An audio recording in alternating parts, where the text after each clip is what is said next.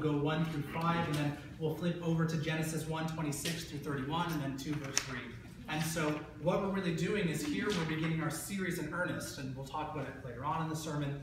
But what we're doing is establishing a worldview. So this week and next week are really vital. If we don't get these weeks, if we don't kind of see the worldview that's being made, we'll, we'll miss a lot going forward. Of course, it's the Word of God. It's always of infinite value. But these next two weeks are really quite important to establish the story that God is telling us and, and what we're building in this. And so for that reason, we're not going to read verses 6 through 25. And those detail really the second through fifth day of creation. And the reason we're not reading those is because we're not so much concerned with the individual things that God made. We're concerned with the story God is telling by making these individual things. And so in that way, we come to Genesis 1 1, the beginning of the Bible, at the beginning of our series.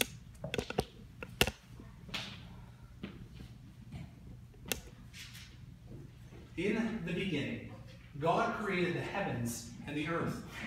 Now the earth was formless and empty. Darkness was over the surface of the deep, and the Spirit of God was hovering over the waters. And God said, Let there be light. And there was light. God saw that the light was good, and he separated the light from the darkness. God called the light day, and the darkness he called night. And there was evening, and there was morning, the first day. And then we skip over and we have again days two through five. And then on day six, the Lord creates the beasts. But what we're primarily concerned about now is what happens the rest of day six. And then we pick up in verse 26, which says, Then God said, Let us make man in our image, in our likeness, and let them rule over the fish of the sea and the birds of the air, over the livestock, over all the earth, and over all the creatures that move along the ground. So God created man in his own image. In the image of God, he created them. Male and female, he created them. God blessed them and said to them, Be fruitful and increase in number. Fill the earth and subdue it. Rule over the fish of the sea and the birds of the air, and over every living creature that moves on the ground. Then God said, I give you every seed-bearing plant on the face of the whole earth, and every tree that has fruit with seed in it. They will be yours for food.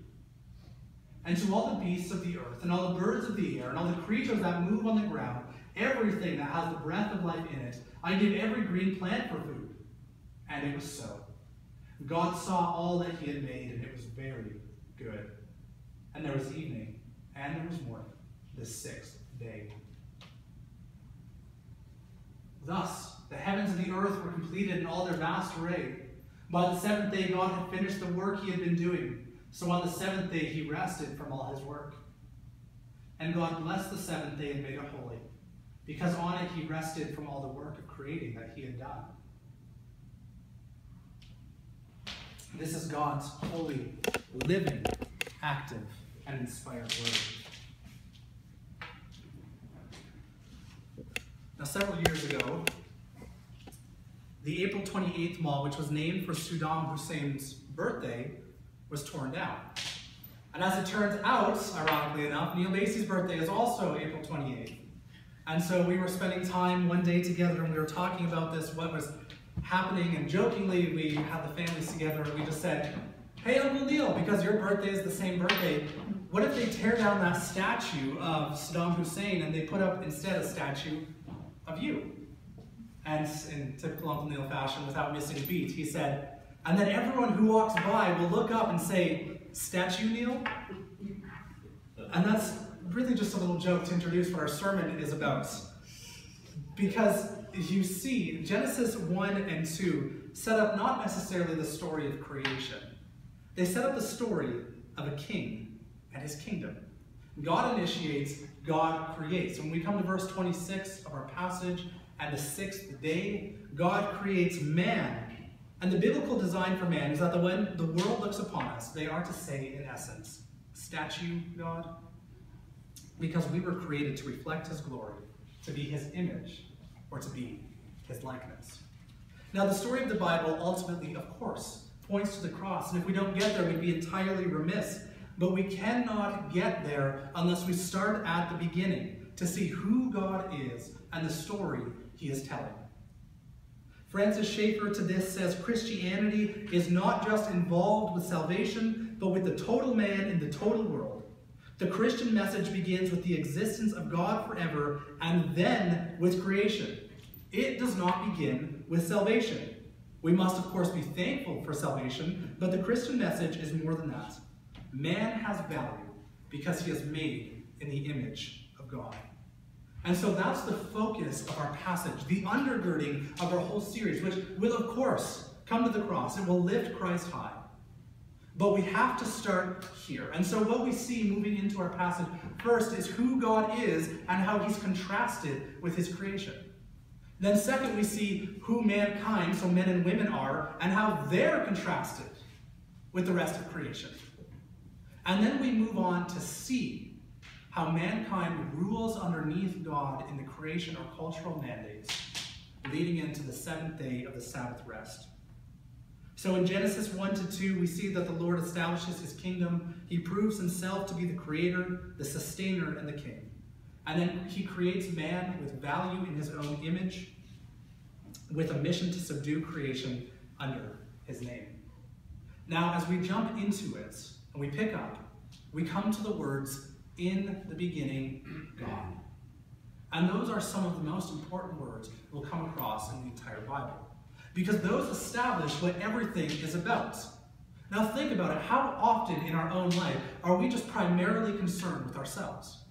It seems as though every heart, and this happens in every church, and it happens, of course, outside of the church especially, Hearts are so caught up, people are so concerned with how they're doing. We're so self-focused, and so much of us have even, or so many of us, have even taken the message of Christianity, the message of grace, and of the Father's love, and we've turned it into a pep talk about ourselves. I can do all things yeah, through Christ who strengthens me. But what the Bible does in the first four words is to lay the hammer down. This is not about us. This is about God. This is the story that he's telling us. In the beginning, not man, not you, not me, in the beginning, God. This is his story. He is telling us. That's what the first four words of Scripture tell us. But so when we look at those first four words, or even the three words, in the beginning, we have to see that in the beginning God doesn't mean in the beginning is God's creation, as though God were created. Rather, God existed long before this. It's not his beginning, because Scripture attests that God is eternal, forever, forever having been and forever being. And so, four words again into Scripture, we are introduced to the subject and the focus of all life. And then immediately after, we're told that he created. Now, it's important to note that God didn't need to create. He wasn't lonely. He wasn't lacking something. He wasn't needing something different. But rather, and we're going to see this more as we go into our series, God has always existed in what is called a Trinity. And so that means one being, ontologically the same, there are three persons, economically different. And that is the Father, the Son, and the Holy Spirit. And so what the Belgic Confession says to that is there is neither a first nor a last. For all three are one in truth and power, and goodness and in mercy. There is only one God, but he is entirely self-sufficient. He is entirely selfless because the Father loves the Son and the Son loves the Spirit, and they all love each other. God needs nothing. We can't come into the Bible and implant ourselves in there and say, ah, but God needs us. He was lonely. He needed someone to praise him. Oh. He needed nothing. And so what we see when we come to this is really the first act of God's grace and love was not redemption, it was creation. To create something that he doesn't need. But as the account continues, we read, God created the heavens and the earth. And this is really just a poetic way of saying God created everything. And as we read in verse 2, the earth was formless and empty, with darkness over the surface of the deep. And those words really signify this dreadful chaos. It's uninhabitable and it's uninhabited. Nothing can exist in the world until God comes. In fact, there is no world. It's just, again, this dreadful chaos with nothing around it. So here exists this sheer emptiness. And the Spirit of God comes over top of the chaos and brings order to the disorderly. We're not included as to why. We don't know what moved God to do this. And we're not meant to know. We have, I have a picture of that. You see, the Hebrew Bible begins with the word beginning, and essentially the first letter, not essentially, but it's true, the first letter is the base. And so the Hebrew language is written right to left. So it will go this way. And what Calvin tells us is that, look, this is very close, right? Scripture starts here. You can only go this way. You cannot come back and discover what happened on the other side.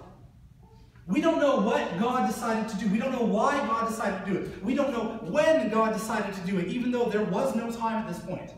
Why is God hovering over the surface of the deep? Why did he send his spirit there? We don't know. All that these words are screaming at us is that God is the creator. We don't need to know why. We don't need to know what is in his mind. All we need to do is bow the knee. That's what is being asserted here. But as we see this picture of this emptiness and this uninhabitableness, there's nothing. There's no mankind. There's nothing except for God. And when you start to picture that, it's such a fascinating moment, isn't it? Just to all of a sudden picture the Spirit of God hovering there. What is he doing there? What is coming next? What is God going to do?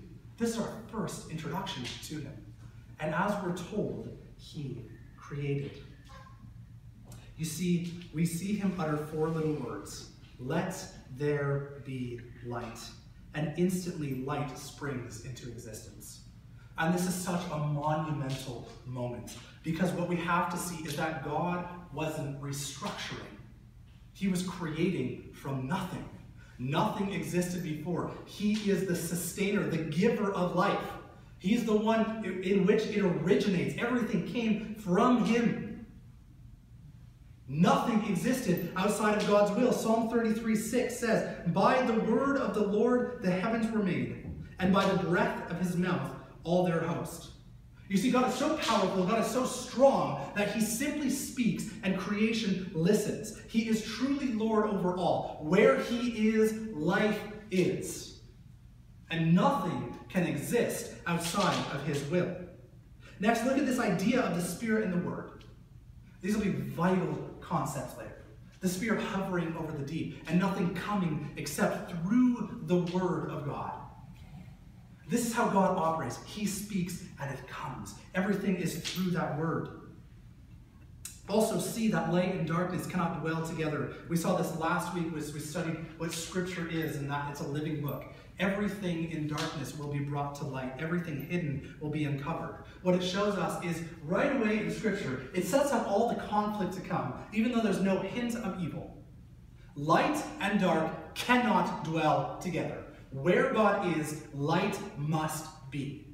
And so the picture that we're getting just right there in the first few verses of the Bible is this eternal king. Nothing existing outside of his will, nothing existing without him, nothing existing contrary to him. And what he determines is that light must reign. Darkness is dispelled.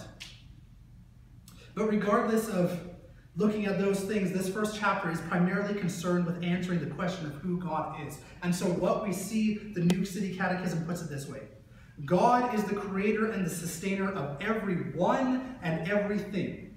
He is eternal, infinite, and unchangeable in his power and perfection, goodness and glory, wisdom, justice, and truth.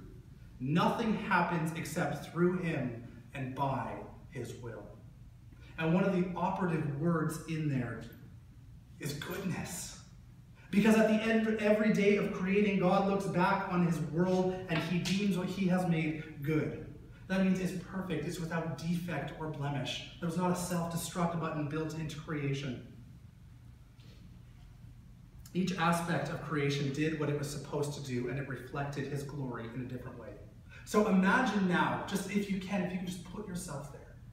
Because we have such a hard time getting this concept. We think, yeah, yeah, God created the world, but we already existed. Imagine just the sheer blackness. There's nothingness. You don't exist. Nothing exists. Now begin to put things into it. Light, the sun, the moon, the stars, every asteroid, the planets, the expansiveness of the universe. Then come down to our world, populated with plants, with animals, with people, with birds, with fish, with water, and so on. You see, when God started his story, he started with nothing. He started with darkness and blackness, and he created.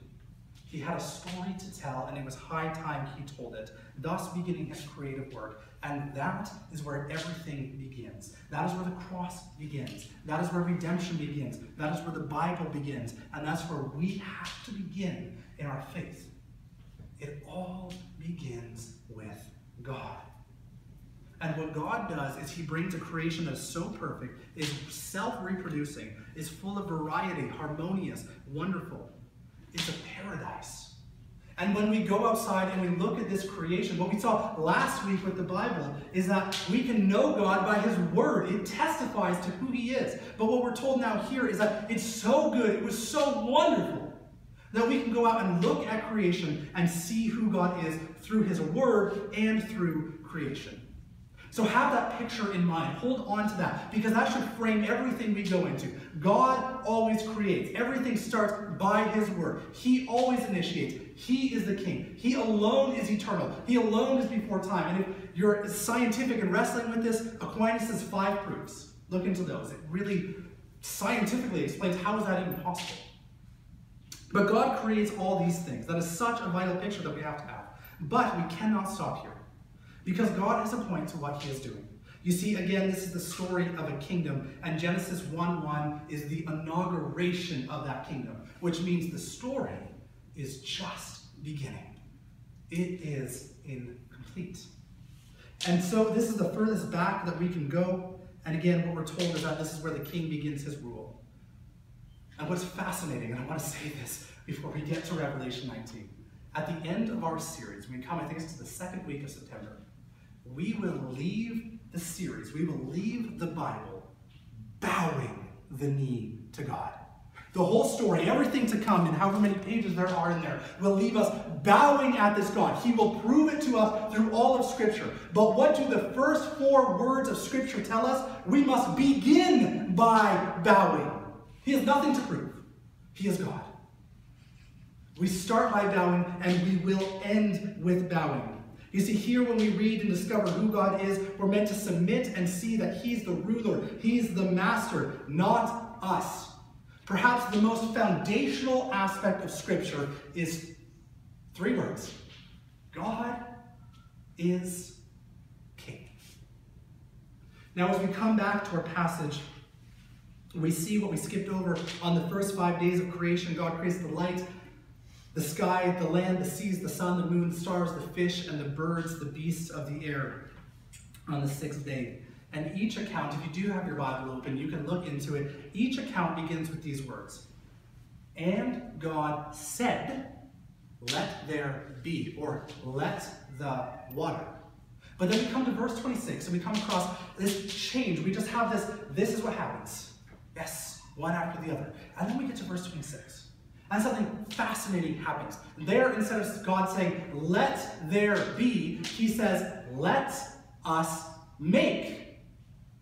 And Matthew Henry says, what's so fascinating about this is that it gives you the impression that now all the preliminaries are out of the way. But now, now, we're getting down to business. Now is where the incomplete creation begins to become complete. The Lord here says, let us make mankind in our image, in our likeness, so that they may rule over the fish in the seas and the birds in the sky, over the livestock and the wild animals, and over all the creatures that move along the grounds. And what's so fascinating about this is that the Trinity comes together to consult, to talk about what are we going to make next. It isn't just let there be, let there be, let there be. It's let's consult, let's make. And what do they decide? And it's inherent in all of us. It is so fascinating that in the DNA of humanity, in every soul in this room, no matter what you think about yourself, what this tells us is that you were created to rule. Isn't that a fascinating thing? We beat ourselves up so much and say we're just not good enough. How can we stand before God? How are we worth anything? I'm not good. But what we're told right here is that mankind, consulted by God, was given to rule over the birds in the sky, the beasts in the air, and the fish in the sea, over everything. Even though the Lord is intimately involved in his creation, we're going to see it, and even though creation is self-reproducing, I don't, is that redundant? Even though it's reproducing, God created someone to rule over it for the purpose of cultivating it, growing it, and bringing it to its fullest potential. Again, while we see that creation was good, creation was deemed perfect, it was incomplete. And so God created mankind, and that again means every human ever, to cultivate the earth, to rule over the land and the seas, and the birds in the sky. But notice three things about this. First, man, and the Hebrew word for man is Adam, Adam. So the first man, Adam, he is simply a creation, just like everything else. He does no creating. In fact, that over which he's given dominion is already in existence before he comes. And so that's so that man can't come and say, look at what I've done. Look at what I've built. It's already there. Man is a creation.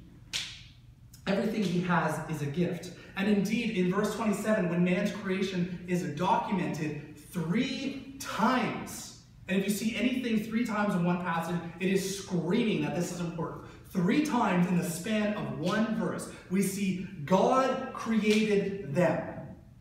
Man is nothing more than a creature, nothing more than a creation. Chapter 2 tells us that we were created from the dust and we are nothing more than that. Adam and Eve did nothing to merit their high, stand, their high standing. Second, the Lord created both male and female for the task at hand. They are both necessary. And what we're going to see is, is a very common theme in Scripture. Well, we see that the man is placed in authority that makes him no more valuable. Both male and female are needed. Both genders are needed. Because just as all of creation reflects God's glory, the plants different than the animals, the birds different than the fish, so man and woman both reflect a different aspect of God's glory.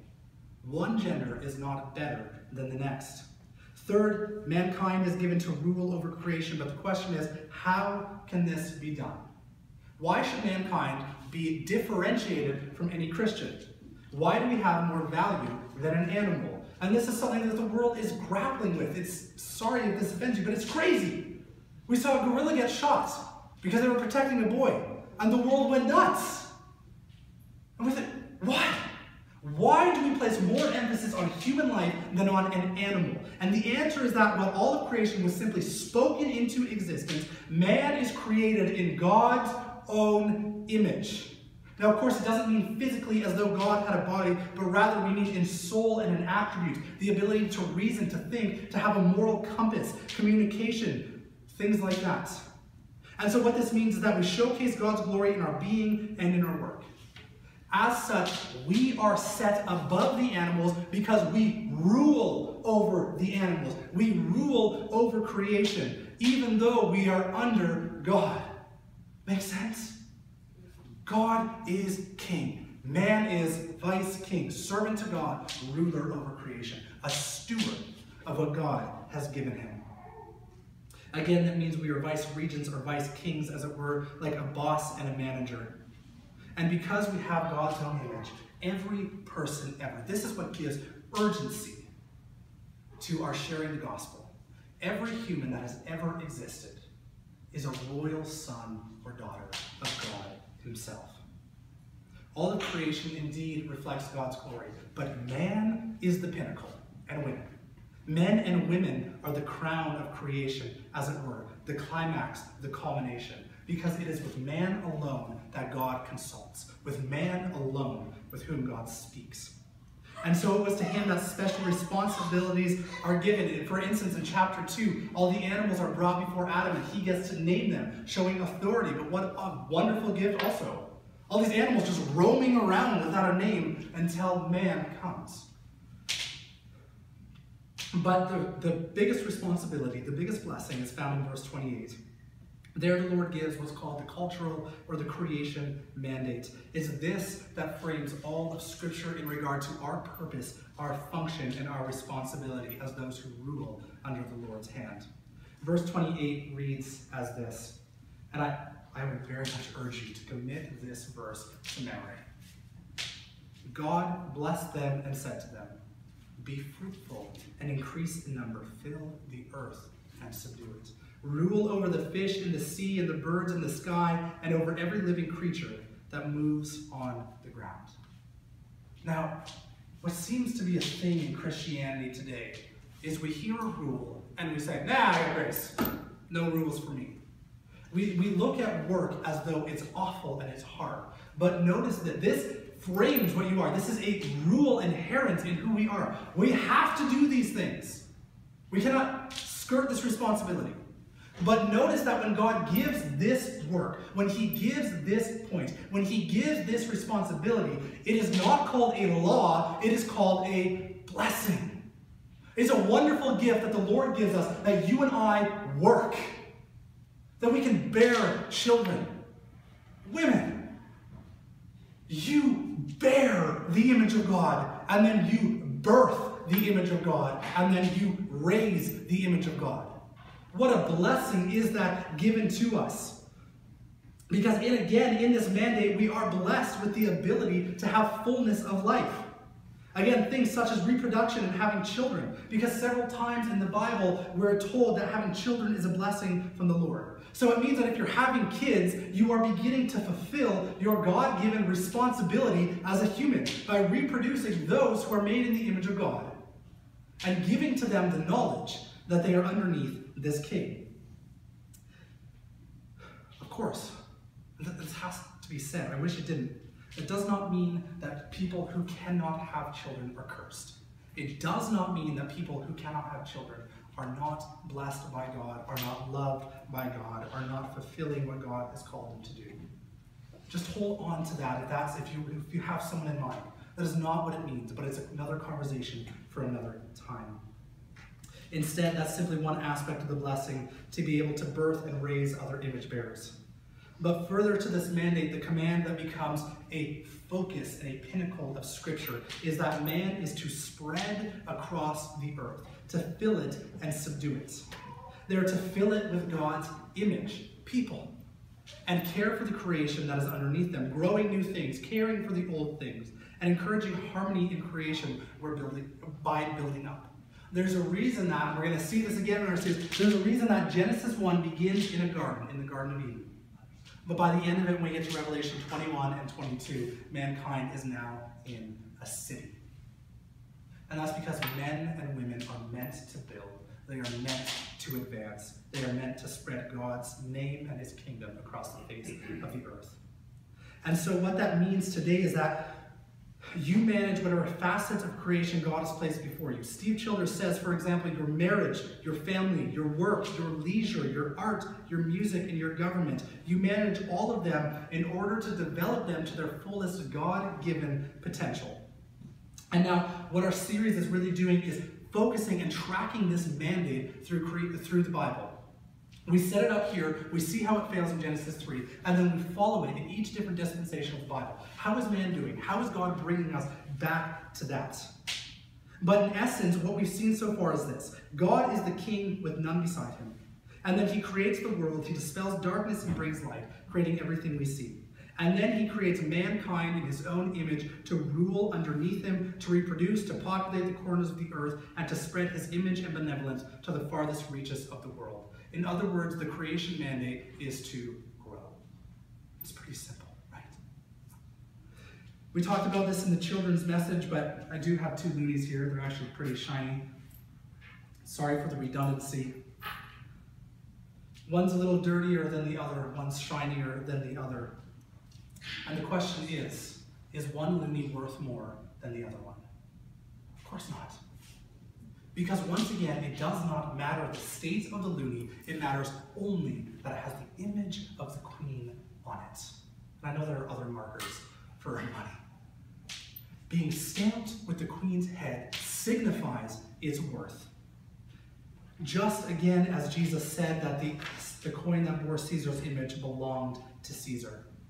You see, you all, we all have value. We have worth. We have meaning. No matter the state we are in our life, no matter how scuffed up and bad we are, no matter how broken we feel, if you are a dirty loonie or a shiny loonie, it does not matter because what that part of the passage is telling us is that you are stamped with God's image. You are created with His own breath of life in you. You belong to Him. You were created to rule. You were created to grow, to advance. That is your value given to you, not because of what you earned, not because of what you worked, not because of who you come, but simply because you were born. And so this is something that we all have to grapple with, whether we're believers or not. It's a truth we have to hold on to and see that we are more than the sum of our parts. You see, in the Christian worldview, we are not measured again by our success or how much we do. We are measured only, we are given value only by belonging to God. And as we see next, that value and that purpose is not meant to burden us or to make us feel guilty. It is meant to fill us with joy and excitement. Now, as we come back to our passage again, the Lord finishes creating, and in verse 31 it says, God saw all that he had made, and it was very good. And chapter 1 closes out, and chapter 2 begins by saying, Thus the heavens and the earth were created in six days. And then on the seventh day, in chapter 2, God rests from his creative work, and he sets this day aside as holy unto him, because this was the first day in which creation was completed and lived in harmony. Now, of course, it doesn't mean that God needed to rest on the seventh day as though he was tired and he sat back. But rather, he is building a promise and a reminder into creation that this life is about rest. It's about harmony. It's about peace. It's about looking at God's creation and seeing that it's all good. There's all this wonder, all this beauty, and then God has graciously given us a day to enjoy it. We come back to the Westminster Confession that we talked about in the children's message. What is the chief end of man? Does anyone know it? Glorify God. Easy. Glorify God in the mandates. Enjoy Him forever in the Sabbath rest. That is what God is setting up in this passage. I'm king. You have infinite value. You are a vice king. Now just live. Just grow. Enjoy me and glorify me by working underneath me, co laboring with me. It's so important because the cultural mandate is the last part of creation, and then God rests. And it shows the two trajectories of the Christian life. We are meant to work, we are meant to labor, we are meant to advance, we are meant to go forward, but it should not be burdensome. The design of creation is that it is filled with joy and blessing. And again, this is a major theme going forward because in Genesis 3, we lose that. And you know that life is not restful. Life is tough. It's very difficult. But it shows us that all of creation from days 1 to 6 is, headed, is heading towards what is known as the Sabbath rest. We'll see when we come to Exodus 20. This is a day, and this being Sunday for us. This is a day when we are meant to stop, when we are meant to, to take a break from all our work and to be reminded that you and I cannot do it. That you and I did not exist before light and say, let there be light, but that we are the tail end of creation. The seventh day, this rest, is supposed to be a reminder. Built is the sabbatismos from Hebrews. It's built into your life. And then we have this day as a reminder that you simply cannot do it. That you are underneath God, that He is King. That's what this day is meant to, to show us. Because you see, when we come to verses 29 and verses 30, God tells man, rule over everything. But I'm the one who will provide food. I will give you food, and I will give everything else food. You can't do it. I'm the one who sends the rain. I'm the one who sends the sun. And the Sabbath rest is supposed to continually remind us of that. You see, our work is a co-laboring with God. And the day of rest, again, that Sabbath, is meant for us to stop and reflect and say, yes, it is God who provides, even for me. While I rule, it is his kingdom. And ultimately, as we said, that's where creation is heading, to that perfect, unending rest, where everything dwells in harmony under God's peace and smile. We have to go through some very turbulent times to get there. But in Revelation, that's where we get. You see, that's the story of creation. It's deemed good because It all did what it was supposed to do, giving glory to the Father. Flowers give glory by being beautiful, by smelling wonderful. Birds give glory by flapping those powerful wings. And mankind gives glory by spreading across the earth, by sharing the good news that God is King, and by saying, it's all about you. It is not about me. As an example, think, if you will and if you can, of being in an abandoned house with overgrown weeds, thorns, and an uninhabitable backyard. You just bought it for whatever reason. And then you spend a week building it up, and then on the first day you cut down the trees, and then another day you mow the lawn, you get rid of all the weeds, you build this beautiful garden, and you paint the entire house, then you put up a fence, and then finally on the sixth day, you put up this beautiful playground for your children. After each day, you could step and you could look back and you could say, yes, at least those trees are gone. We have a, we have a yard now. And yes, at least that, that lawn is cut down. Ah, good. They least, oh, now the house looks beautiful. But imagine on that last day, your kids running out from inside the house and just playing in the yard and on that swing set. That's when you sit back, you grab your cup of coffee, and you smile because it's done and everything is working in harmony. You see, God takes chaos and he makes perfection. That is God's design. And so the promise built into Genesis 1 is that in this chaotic world, the king is always bringing something good. Before we leave this passage, though, I want to challenge you with a few things. First, as I said earlier, hold this passage in front of you. This is life as it's meant to be. If it helps to picture that backyard with that swing set and your kids playing it, all your work is done and they're enjoying it and they're delighting in it, then picture that. That is what this world is meant to be. No crying, no death, no pain, nothing wrong in this passage, right? Everything is perfect. There's not a hint of evil. God has left only good in his wake, only joy. Mankind has a purpose. They are working, they are laboring, but it is not burdensome. That's what God creates. So for one, hold this passage in front of you. Next, never forget that you are not an accident. Again, Steve Childers says, God means for you to play a significant role in the restoration of all things. Yes, you heard that right. God means you, every one of you here, to play a significant role in the restoration of all things. And you can never fully understand the meaning of your personal life story until you understand how your story fits with God's story. And this is where the story starts. Finally, what we saw last week is that the Bible's primary concern is not our competence, but our character. And so this is a worldview that we have to adopt. If you remember that chart, worldview is in the middle. Then you have your beliefs, then you have your values, then you have your behaviors. This is inherent into your DNA. It must be in the deepest part of your heart. This is where the story begins. This is where redemption begins. In God's perfection, He is King. You are given a purpose. And we're going to track what that looks like when it's lost next week. But hold on to that because this passage is under attack in the church and in the world today. People are saying this, this is allegorical fiction. This is not true. But I hope we're going to see is that all of Scripture hinges on this being true. It has to be true. For that reason, it has to be a worldview. Hold on to this. This happened. This is real. God is the creator. You were given that word. We were there once. We were in the Garden of Eden. All men, all women, all boys, all girls are created to be royalty. You may not feel that way, and that's where we be, and that's where we begin our journey to the cross of Christ. As we see next week again, creation does not stay the same.